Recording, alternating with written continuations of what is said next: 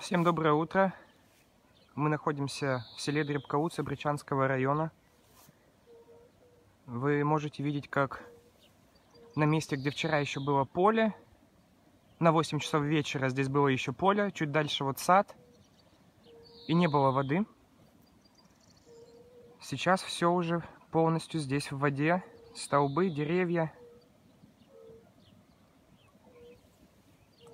Видно очень много мусора. Вода поднимается с очень большой скоростью. Как я уже сказал, что на вчерашний день в 8 часов вечера здесь ничего не было. Воды. Сейчас можете видеть, что вот вода подобралась прямо уже к забору людей, которые здесь живут.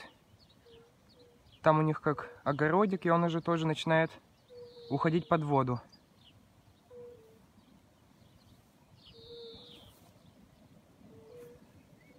Это все последствия того, что пруд выходит из берегов. Похожая ситуация в селе Криво Бричанского района. Там тоже вода набирается с очень большой скоростью.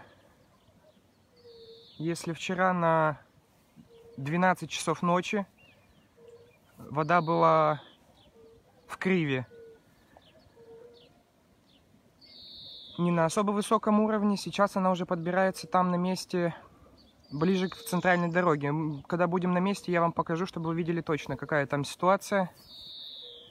А сейчас именно под Рыбкауцем. Вот видно, что вдалеке сад, и он уже в воде. Он ушел под воду. Столбы, деревья. Как я сказал, здесь раньше было поле, здесь местные жители пасли домашний скот. Дети могли играть в футбол.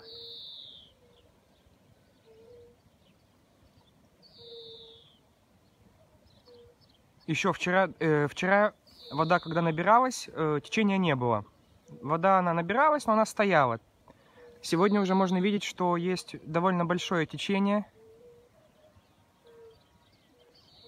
Вот если присмотреться, вы можете увидеть ближе к середине.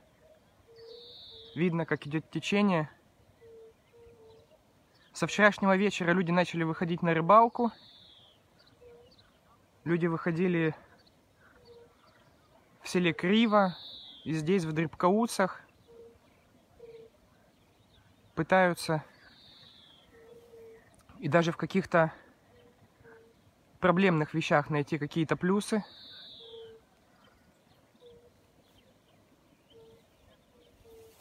Здесь вот смотрите, здесь есть мельница. Вот это, это мельница в Дребкауцах. И в 2008 году, когда было наводнение, вот почти весь первый этаж мельницы ушел под воду.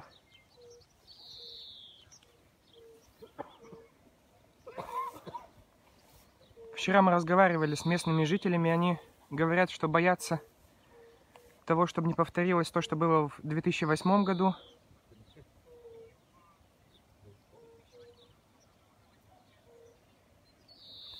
Потому что в 2008 году пострадало очень много домов, очень много семей остались просто-напросто без крыши над головой.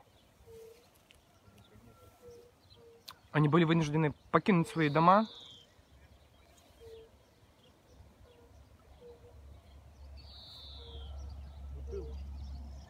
Да, вот э, на что нужно обратить внимание на самом деле, это на бутылки, которые плывут по течению.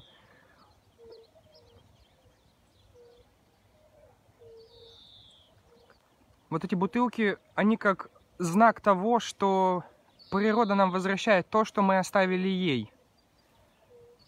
При поездке в лес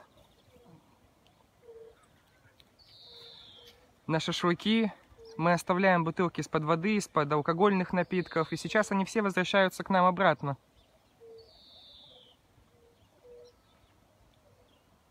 И вот тут здесь тоже очень много мусора на самом деле, по воде течет очень много мусора.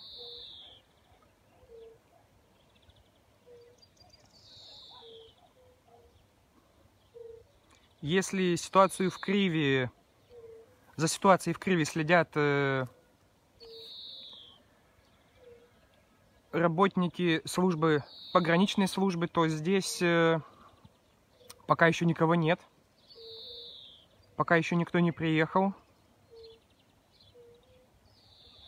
Как нам стало известно, что каждый час на место выезжает специализированная группа, состоящая из работников МЧС, которая проверяет ситуацию с уровнем воды для того, чтобы вовремя людей эвакуировать,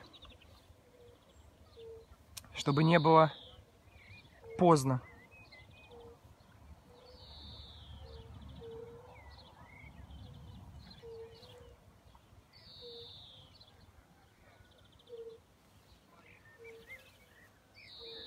Так. Всем спасибо, кто был с нами, кто смотрел прямой эфир. Чуть позже мы снова выйдем и покажем вам, какая будет ситуация.